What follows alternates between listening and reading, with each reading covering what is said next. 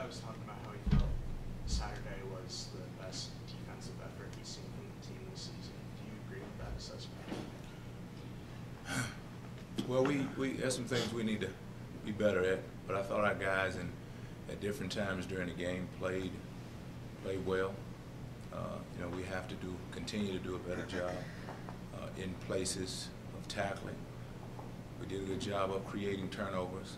You know, when you look at the, the score, you know, you had a team that came in averaging fifty points and you hold them to thirty, okay? You, you can, uh, you know, you can take some relief in that. But, but there's still a lot for us to do. There's still a lot of growing for us to do. And, and our players know that. So uh, we're looking at this week as another opportunity to be able to do that in a, in a different environment, number one, and versus a very different type offense.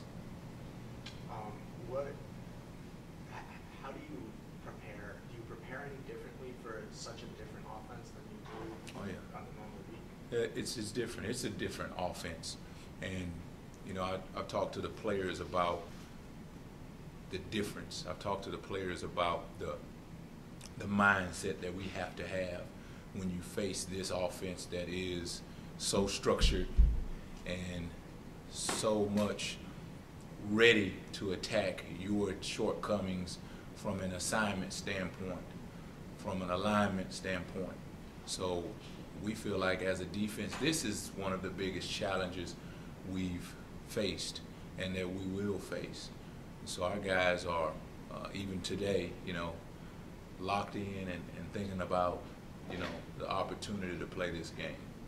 Given the differences both on your defense and on the Navy offense from a year ago, do you watch last year's game or do you just focus more on this season? Well, because of the fact that they do, you know, you hear it all the time, we do what we do. Well, they do what they do. So anytime you can watch them, you know, you, you're just trying to learn. You're trying to figure out their keys. You're trying to figure out how can you be on the attack, you know, rather than uh, being at their mercy. So we watched last year, we watched two years ago, we watch any any video that we can to be able to gain more insight on how they do and why they do the things that they do so that so that we on our side from our standpoint can do a better job of of putting the ball you know in our court and and, and making those guys react to us rather than the, the opposite of that Given Navy's tendency to cut block, how do you prepare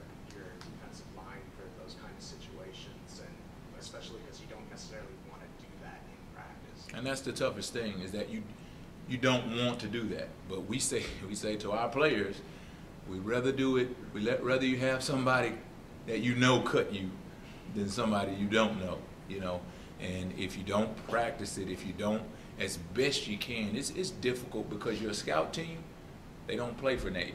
You know, your scout team, they they were recruited to operate in this offense, and they are playing because they are operators of this offense. And you know, when you have guys who that's what they do. You know, day after day after day, that's what they do. Talking about the Navy offense, so it's difficult throughout a short week to be able to have your scout team operate as the Navy offense would, but you have to you have to be daring enough uh, because it, it only helps your players. You have to go out there and you have to work on the cut block because going 100 miles an hour and getting cut is a little bit different than doing it at practice. Well, if you didn't give them the opportunity to be able to face that and go through the fundamentals, because there's a way to play the cut block. And if the first time you go through that in your mind is on game day, it's not a lot of fun for you or for the trainers. Set the program record for defensive touchdowns on Saturday. Um, where have you seen him grow the most since you got here three years ago? Well, he, he is truly an example of of what growth and maturity can can do for a player. How it can help his how it can help his confidence. How it can help that player's uh, understanding of the defense and understanding of what you're trying to get him to do. And I, I continue to say that Jordan yes, I'm his coach, and coaches get a lot of credit, so I'll take some for him. But it, honestly, Jordan works harder than you know many coaches, many players that I've had opportunity to coach. So uh, some of the things that he's done is because he's put himself in position to be able to do it. He's put himself in position because he prepares each week, and so on game day, he understands what's going to happen on the play, and and it's almost second nature that he makes a play because he's played it over and over in his head. And when he talks in the meeting room, you know that he understands how they are trying to attack him as a player, how they're trying to attack his position. And it, it, it, you, when Duke players do that, they make plays. Justin Lawler makes plays because he understands his responsibility. He understands how he fits in it all, and he knows what's you know what's going to happen. So it's just a matter of him going out and making the play when the opportunity presents itself. When, when you say Jordan's one of the hardest working players you've been around, like where where do you see that? How is his preparation? different? Well, on, on the we, we have a thing that we do in the cornerback room is the players present a scouting report to each other, and we do that on Thursdays. And so what they do is part of this is the things that Coach Malone has said all week but then some of it is things that I want you to go out and find on the video. I want you to go and find out in the world versus the opponent. And he always comes back with the most information.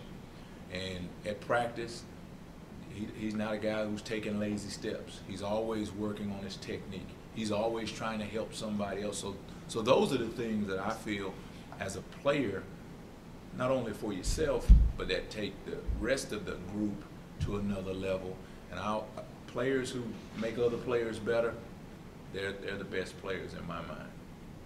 So, who are some of the scout guys who are helping you simulate? Colin Rock, who's a defensive back, is a guy who is is going to be able to help us as one of their slots. Kane Norman, Merrick Pierce will be, you know, guys that'll be val valuable for us. Uh, Judah Bell, you know, will work as a receiver, but they have bigger receivers and they do a good job of blocking, and it's a, a great thing that Judah does for us and has done all season long. Uh, where you kind of struggle is, is offensive linemen because you don't have a, a, a, ton of those guys to be able to help you. But those guys will, you know, those names that I said, those guys will help us with the skill positions that uh, that Navy will bring to us.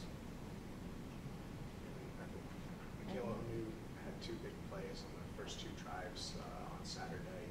Um, where have you seen him develop in his sophomore season? Well, he continues. He continues to to do well when when when we put him in those positions to make tackles. When we put him in positions like the one you saw to create the turnover to make those kinds of plays, he he's done it.